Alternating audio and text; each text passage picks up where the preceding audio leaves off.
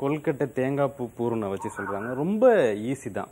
பாத்திரத்தில் தேங்காய் பூர்ணை போட்டு கொஞ்சம் சூடுபடுத்திங்க. சூடுபடுத்தும் போது அதுலேயே கொஞ்சமாக வெல்லம் போட்டாவே போது நல்லா திக்காயிடும் அதில் வந்து ஏலக்காய் தூள். இது பூரணம் ரெடி பண்ணி வச்சுங்க. ரொம்ப சிம்பிள் தான். இல்லை நீங்கள் அப்படி கூட மிக்ஸ் பண்ணிக்கலாம். தேங்காயில் நாட்டு சக்கரை இருக்குல்ல அது கூட சேர்த்துக்கலாம். இல்லைன்னா வெல்லம் ரெண்டுமே சேர்த்துக்கலாம். கொஞ்சமாக ஏலக்காத்தூள் போட்டு மிக்ஸ் பண்ணிட்டு வச்சுட்டு இந்த சைடில் ஒரு பாத்திரத்தில் தண்ணி வைங்க. ஒரு கிளாஸ் தண்ணி ரெண்டு கிளாஸ் அரிசி மாவு அந்த அளவில் எடுத்துட்டு பாத்திர தண்ணி கொஞ்சமாக தேங்காய் கொஞ்சமாக உப்பு.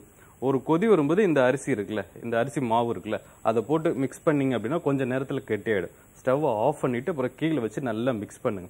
மிக்ஸ் பண்ணதுக்கு அப்புறமா அதை கொல்கட்டி அப்படி நம்ம எப்படி நம்ம ஷேப்லாம் இப்போ விற்கிது ரெடிமேடு அது இருக்கலாம் இல்லைன்னா ஒரு உருண்டை மாதிரிக்கே எடுத்துட்டு உள்ளே நல்லா ஸ்டஃப் பண்ணிவிட்டு அதுக்கப்புறமா அந்த தேங்காய் பூர்ணத்தை உள்ளே வச்சு நீங்கள் அப்படியே கூட நீங்கள் எடுத்து செ- செய்யலாம். கண்டிப்பாக ட்ரை பண்ணி பாருங்கள்